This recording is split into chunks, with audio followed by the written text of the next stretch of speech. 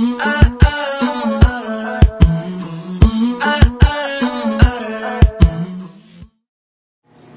um, obviously my hair is wet,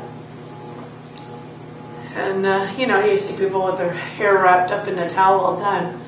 So um, you could assume my hair is wet because of oh, why is my hair wet? Well, if you don't know, then you could take some clues. You could say, oh, this looks like a bath towel. Maybe she was in the shower. Or maybe it was raining outside and she got wet out in the rain. If I'd had this towel, this kind of a towel around my head, you maybe would think more about um, I was on the beach or I went swimming in the lake or in a pool or I was out in the hot tub. Um, so you look at the context. I'm sitting here inside, but I could have come in from the outside, or I could have come out of the bathroom.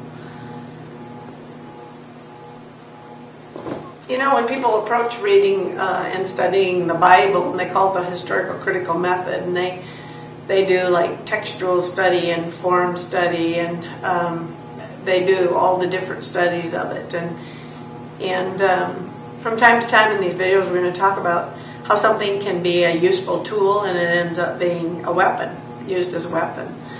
You know, um, the interesting thing is, is my example on my hair is wet, um, and you have to try to piece it together to figure figure out because you weren't there. You don't know is it from a shower, is it from the rain, is it from swimming, what is it?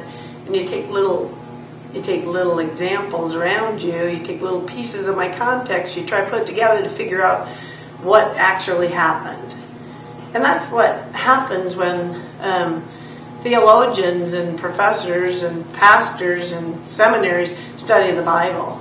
And then they piece it together and then then they go to the people in the pews in the church and they say, well, for the following reasons, Jesus didn't say this because of in the context it's going to happen. Or Paul obviously didn't write this, and we're going to get into that in another video about how they discern the writing.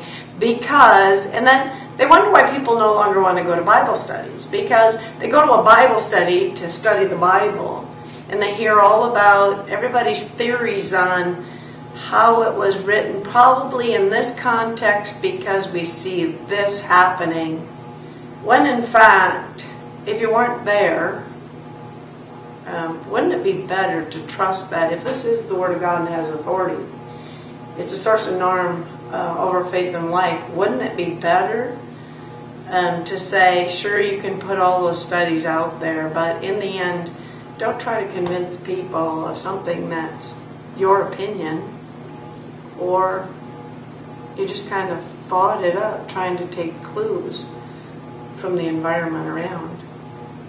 It's God's Word. It's a gift for you.